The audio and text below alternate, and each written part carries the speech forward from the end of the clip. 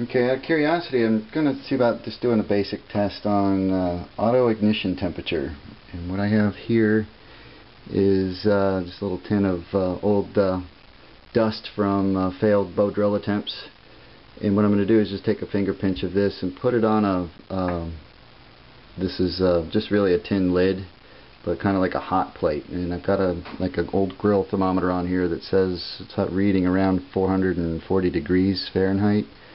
I've got my stove uh, setting up here at just over medium on this dial here. Uh, so it's um, and what I'm going to do is just take a pinch of this. You know, if you can see the clock, I was just out of curiosity on the on the coffee maker. It's 5:27 right now. So what I'm going to do is just take a pinch of this dust and sprinkle it on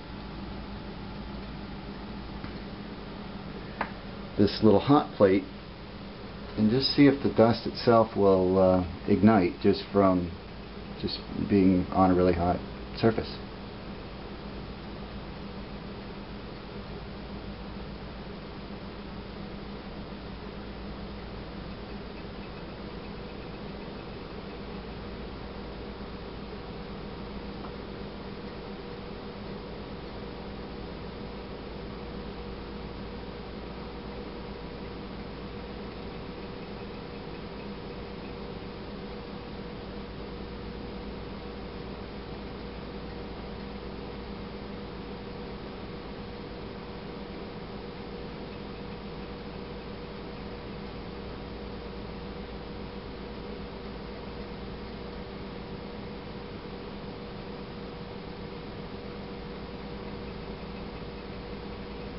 Look at that.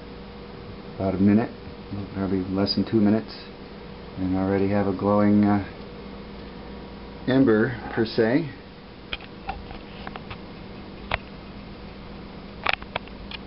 Just from sitting on a hot tin lid. And I got my burner setting at, uh, like I said, just above medium. And it's only been like two minutes.